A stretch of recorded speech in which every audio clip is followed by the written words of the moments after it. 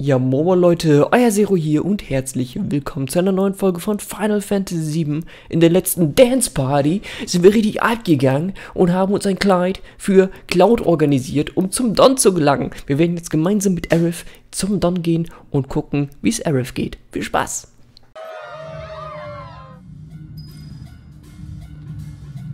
Die Show heute war ja mal echt der Hammer. Also, im Sinne von, als Spieler so fühlt man sich ja immer der Figur verbunden, ne? Deswegen, also, Komm schon, nur ein Drink. Dann quatschen wir noch ein bisschen. War das improvisiert? Bestimmt. Der Junge schien extrem überrascht. wie er jetzt auch geht. Wie im Classic. Cloud, das war wirklich beeindruckend. Er sagt nichts mehr. Hör bitte auf. Kein Wort. Nur eins, Nein. aber du bist so süß.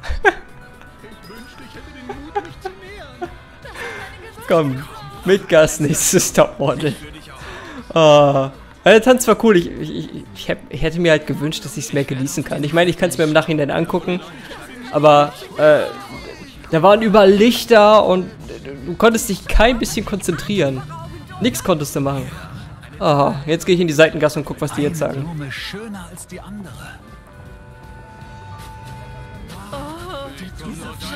Es ist alles so laut. Ja, also es war wirklich schwer. Alles, alles hat geleuchtet, alles hat geblinkt, geblunken, geblinkt, keine Ahnung. Und äh, ja, es, es war nicht leicht. Vor allem einiges hat man nicht sehen können, weil die Leute, weil die Tänzer es verdeckt haben. An sich äh, richtig cool inszeniert und für ein Dancing-Spiel wäre das tatsächlich schon eine Alternative. Oh, schade. Vor allem, wie er versucht jetzt als, wie, wie als Frau zu gehen, aber man sieht einfach das Kreuz von ihm. naja, wer weiß. Wollten uns hier treffen. Sing dir das Lied. Das hat Gehen wir mal zu. Zu dem da oben. Vor allem die Zöpfe, die passen absolut gar nicht. Absolut gar nicht. Aber die haben die Haare ein bisschen länger gemacht hinten, ne? Also nicht die Zöpfe. Die Zöpfe sind falsch, klar. Aber ich meine die Spitze hinten. Wow. Oh, ich kann sogar laufen. Wie eine echte Dame. Ja, klaut das richtig gut, Alter. Guckt euch an. Wie eine Dame läuft er.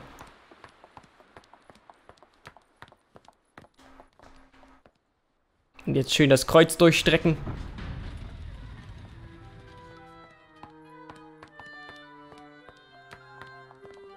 Du bist doch. Wir haben Empfehlungsschreiben von Madame M und Anjan. Lässt du uns rein? Seid ihr euch sicher? Absolut. Ich hoffe, ihr bereut das nicht. Aber nicht doch. Na gut, dann rein mit euch. Die Brautschau. Rein haben wir es geschafft. Hätte schwören können, ich hätte ein grünes Kleid eingehabt, kein blaues. Oder waren das einfach nur Easter Eggs im Laden? Weil vorher haben wir sie im Laden bekommen, deswegen mussten wir den Schneider auch zurückbringen, damit er uns die Kleider geben kann. Äh, und ich glaube, die Kleider standen da als Easter Egg. Haben sie halt die Kleinigkeit geändert. Richtig? Die Treppe rauf, das Zimmer ganz hinten. Keine Besichtigungstouren, kapiert, Mädels? Ja, ja, keine Besichtigungstouren. Guck mal, das ist Gold. Glaubt mir, die Sachen hier könnt ihr euch nicht leisten. Ja, ist ja gut. Ich vermöbel dich nachher. Dann nehme ich es mir trotzdem. So sieht's aus. Die Empfehlung von Madame M. Erste Sahne. Ich bin besser. Hey, nicht anfassen! Ja, wie soll ich denn reingehen? Achso, wahrscheinlich da rein. In der äh, prachtvollen von Tür. Anjan. Geht doch mal schön brav ins Zimmer und wartet dort. Ja, welches Zimmer denn? Das hier. Das Zimmer ist da hinten. Dale!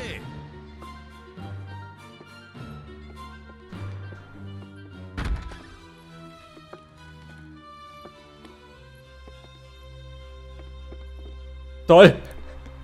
Rumpelkammer. Hm? Was ist das für ein seltsamer Geruch? Da wird einem ja ganz schwummrig von. Schlafgas. Schnell raus hier. Verdammt! Cloud! Oh, oh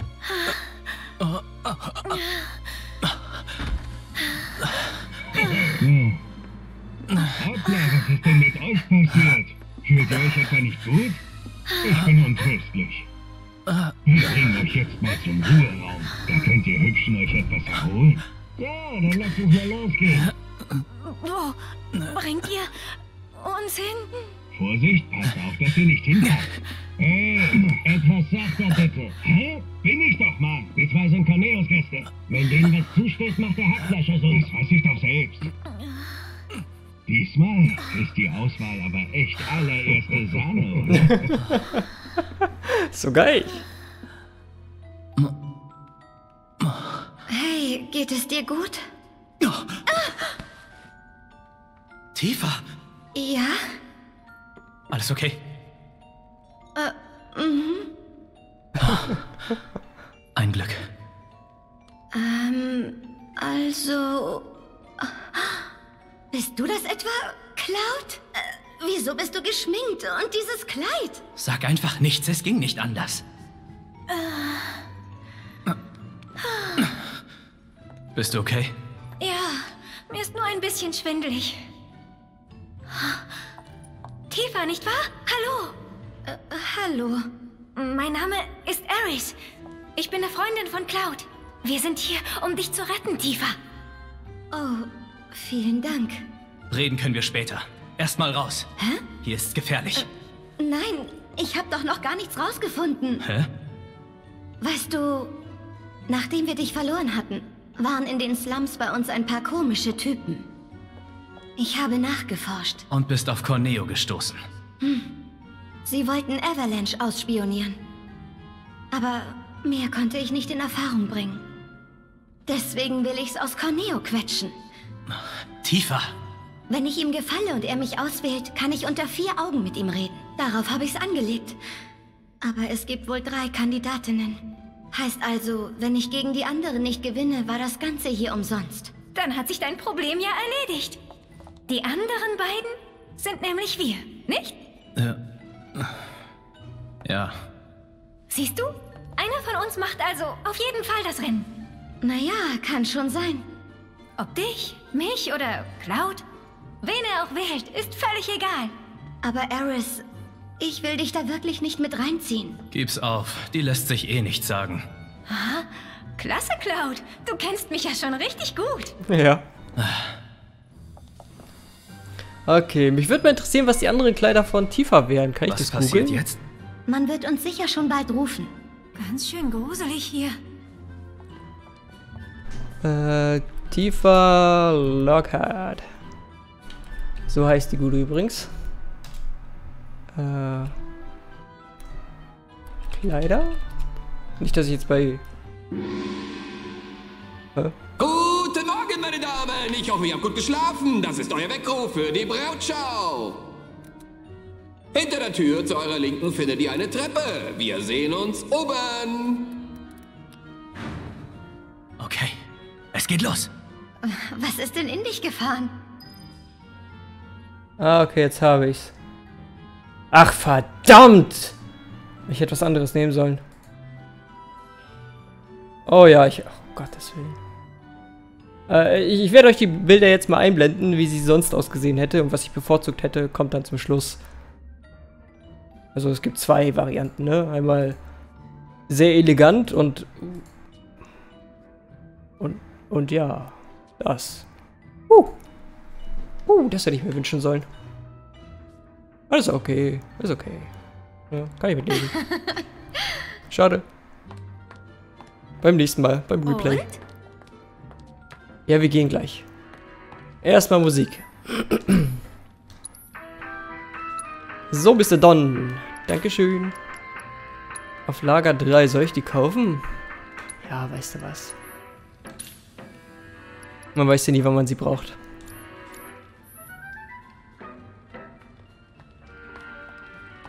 Dann wollen wir mal. Und? Ja, wir gehen jetzt. Kommt, Mädels. Ich hoffe, ich muss in diesen Kleidern nicht kämpfen. Wie bekomme ich mein Schwert wieder? Ich weiß es gar nicht mehr.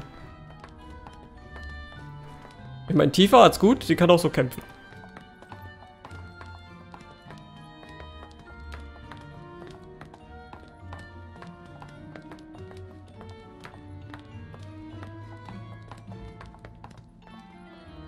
Dann schauen wir mal.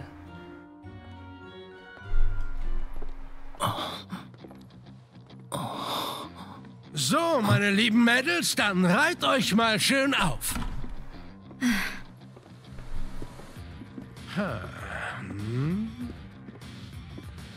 Ah. Hm? Kommt mir bekannt vor. Kennen wir uns vielleicht? Na, egal. Okay, seid ihr bereit, Mädels? Er kommt nämlich. Der unnachahmliche, unvergleichliche, allseits beliebte Don Corneo. Eisnecken. Sehr schön. Entzückend. Welches Täubchen soll ich denn bloß nehmen? Hahi, hahi. Oh. Dich vielleicht, Schätzchen? Oder vielleicht doch lieber dich?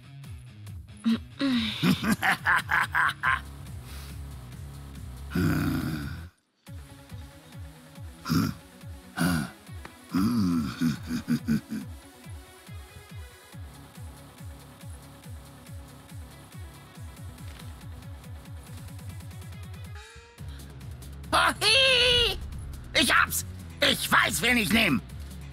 Meine Braut für heute Nacht ist... Heute Nacht?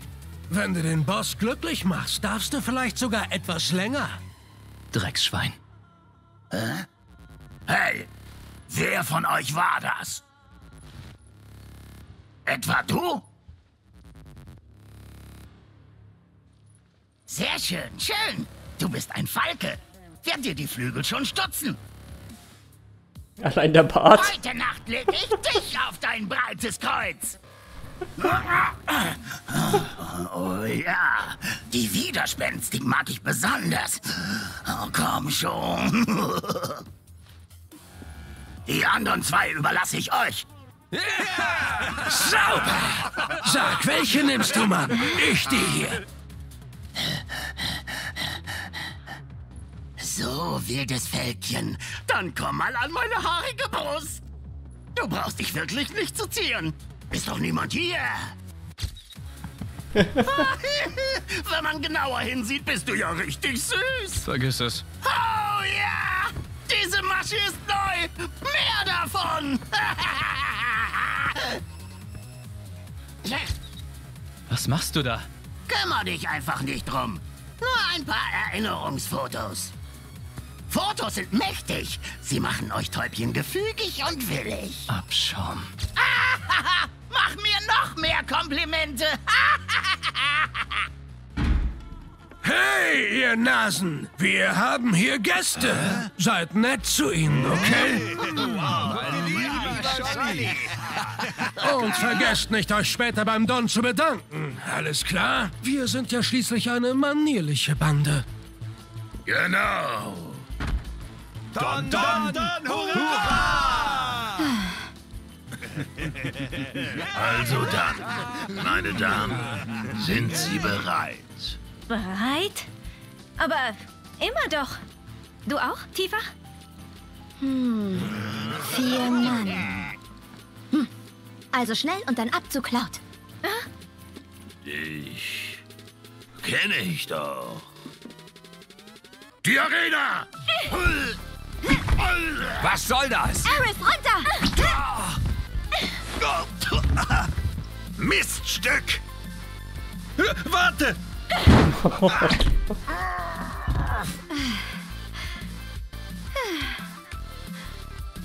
Hut ab, Aris. Hättest dich mal sehen sollen.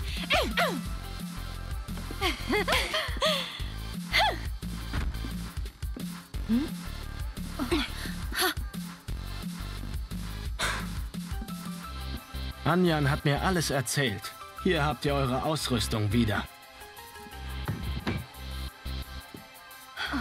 Ich kümmere mich um den Rest. Viel Glück. Vielen Dank. Ja, Mensch.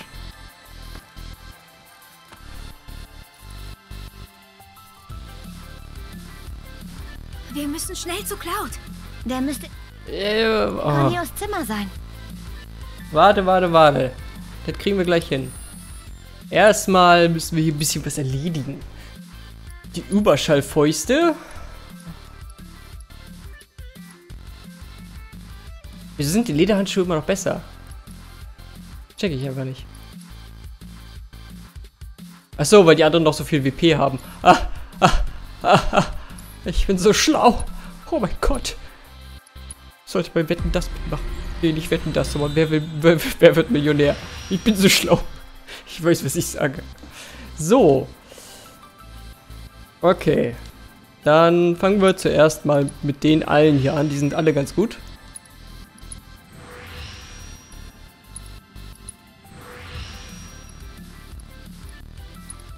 So, ja. Dann gucken wir hier. Schaden von normalen Angriffen, Schaden von Sprungangriffen brauche ich nicht. Längere Buffs brauche ich nicht. Schaden durch Hinterhalt. Das könnte interessant sein. Ne? Ähm, das brauchen wir nicht. Das brauchen wir nicht. Erhöht den Schaden, den Angriffe in den Rücken der Gegner verursachen. Auf jeden Fall. Schaden von normalen Angriffen. Und dann gehen wir zum nächsten. Physische Attacke, magische Attacke, Leichenfledderer. Das ist interessant. Heilt beim Töten von Gegnern TP. Gerne. Zangas Lehre wird zu 30% aktiviert. Am Beginn des Kampfes erhöht sich mit bestimmter Wahrscheinlichkeit die Stufe von Entfesselung. Mach ich. Zusätzlicher Slot. Kann man immer gebrauchen. Ich habe jetzt so viel WP hier ausgegeben. Krass. So, die Überschallfäuste.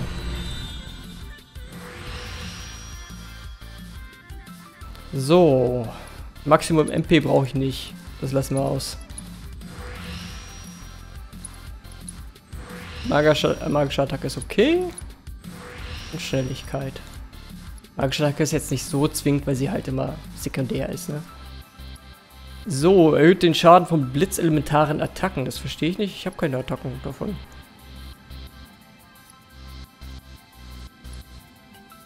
Erhöht den Schaden. Ach so, weil sie macht ja die De Debuffs. Verlängert die Dauer von Debuffs, die auf Gegner gewirkt werden. Erhöht den Schaden von Feuerelementar. Ja, gut, das sind elementare Handschuhe, glaube ich. Äh, nein, das wollte ich nicht.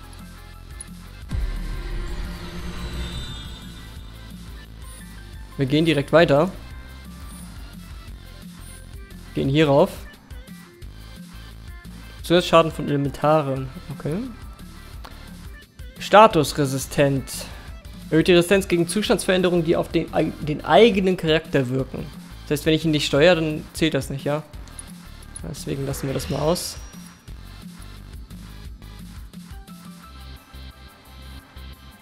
Waffen, die mit elementarbasierten Okay. Ich drücke einfach drauf, ich verstehe es nicht ganz. Vielleicht muss ich bei ihr Zauberer-Dinger rauf tun dann. Erhöht MP. Das sind. Das sind keine Zauberer-Dinger. Handschuhe. Erhöht Schnelligkeit, MP. Oh gut, das können wir noch machen. Materia-Slot. Es sind äh, Handschuhe für, für, für Magie. Das wird doch nicht erzählen. Okay. Jetzt gucken wir uns die ganzen an. Hier haben wir natürlich verdammt viele Materia. Gegner schocken. Aber wir sollten auf jeden Fall zuerst den ersten nehmen, ne?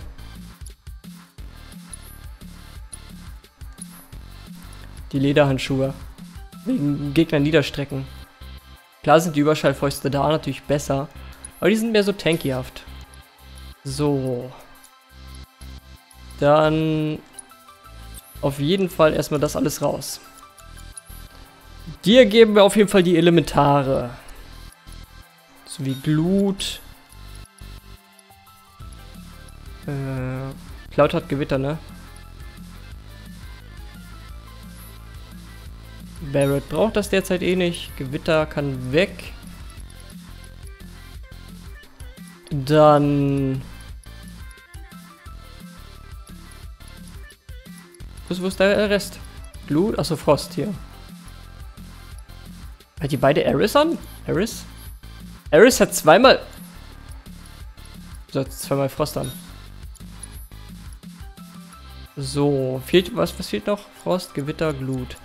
Äh, das Luftding, ne? Ne, doch, Luft. Toxin brauchen wir, glaube ich, nicht so schnell. Toxin. So, dann geben wir dir nämlich noch. Ja, wenn ich noch einen Slot mehr hätte. Ich habe einen Slot mehr. Scheiß auf das Kraftreif, ganz ehrlich. Ähm. Wo sehe ich da die Slots? Ich sehe keine Slots. Äh, verdammt. Ah, hier muss das sein. Ach so, deswegen sage ich keinen Slot. Wir haben hier das Schwarzreif. Klar verlieren wir hier ein bisschen Verteidigung, aber wir kriegen äh, eine, ein Materia-Slot hinzu. Das heißt, wir können hier in Waffen zusätzliche Elementarschaden von 8%. Aber ist, ist das auf der Waffe drauf? Ähm da. Flächeneffekt für verbundene Materie? Ach, für verbundene Materie. Hier. Die hier sind verbunden. Seht ihr das? Die sind verbunden. Äh. Da muss ich umplanen. So.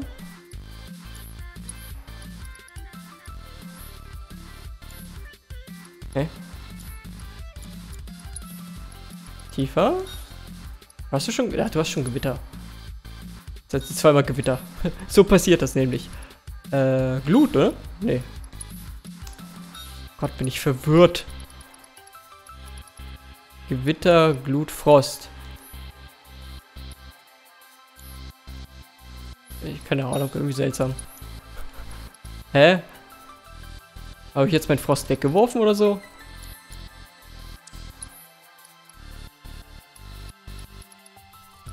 Ach so, nee, das landet jetzt ganz unten. Bestimmt. ich habe mich die ganze Zeit selbst verarscht. Ich dachte, was ist hier los? So, was haben wir jetzt? Frost, Glut, Gewitter. Fehlt noch Luft.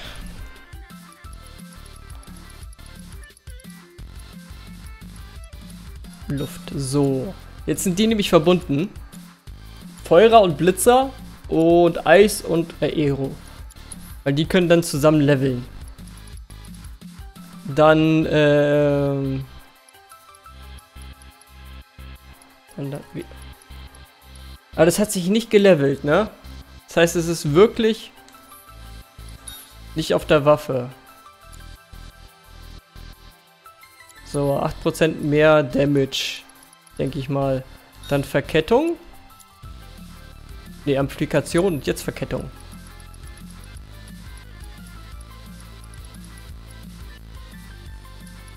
Wo ist jetzt der andere Rest?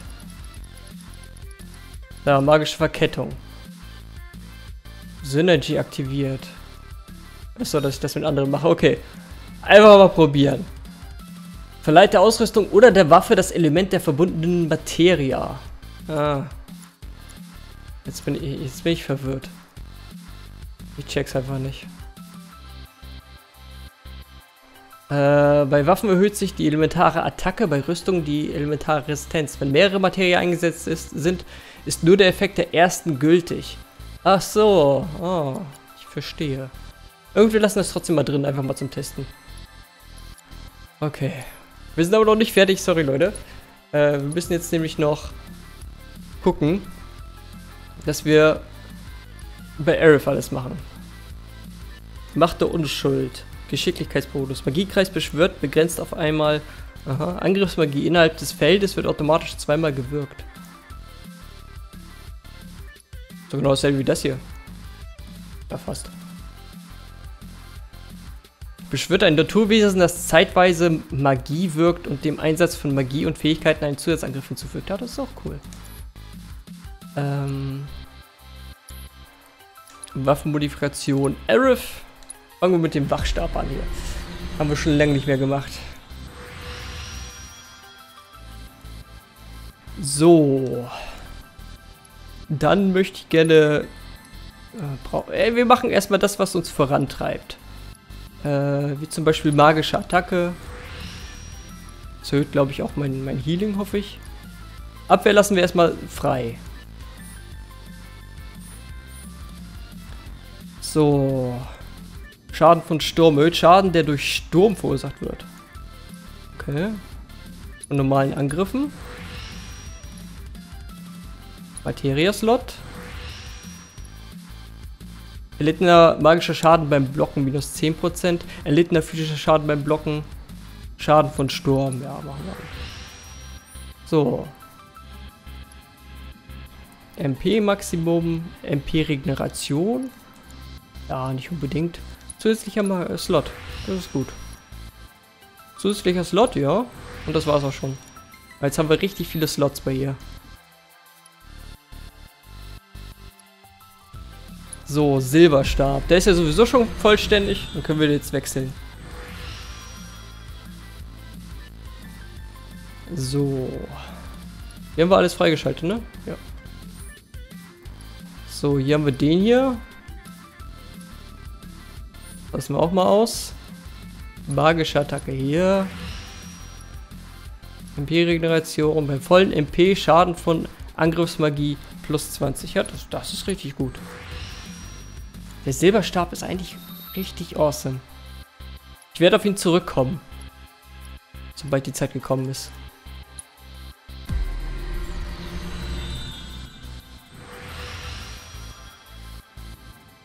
So, längere Debuffs. Wir haben noch keine Debuffs, die wir wirklich nutzen. Deswegen lasse ich die erstmal aus.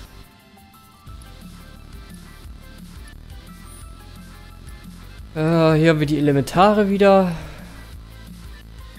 Zusatzschaden von Elementaren. Okay, das ist auch nicht schlecht. Aber ich habe mit ihr halt noch nichts. Ich weiß noch nicht, was ich mit ihr mache. Magische Attacke.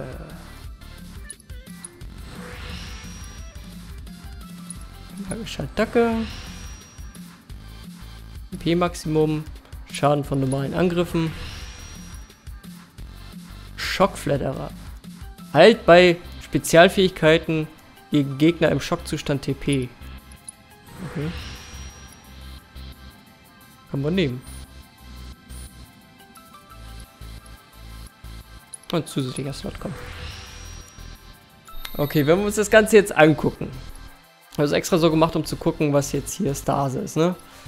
Äh, ist der Silberstab schon enorm gut. Aber ich weiß nicht, was passiert, wenn die Geschicklichkeit noch erhöht wird. Deswegen gehen wir erstmal hier rauf. Äh, nein, das wollte ich nicht. Wir müssen ja erstmal noch die Fähigkeiten erlernen, ne?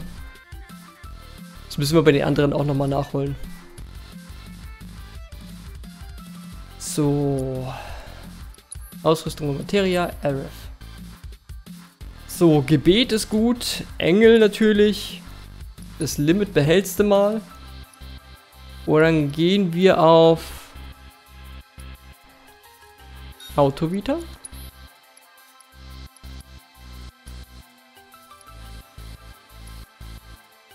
Ja, Magie-Boost. Okay. So, nachdem wir uns mit Tifa wieder vereint haben, haben wir sie jetzt auch noch ausgerüstet. Ich weiß, es hat sehr lange gedauert und äh, da gab es auch nicht viel zu schneiden, weil es war schon wichtig, was wir ihr geben. Und äh, wir sehen uns dann morgen in der nächsten Folge, wenn wir dann im Haus von Don richtig abgehen und ihm ein paar Dinge zerquetschen. Bis dann. Ciao.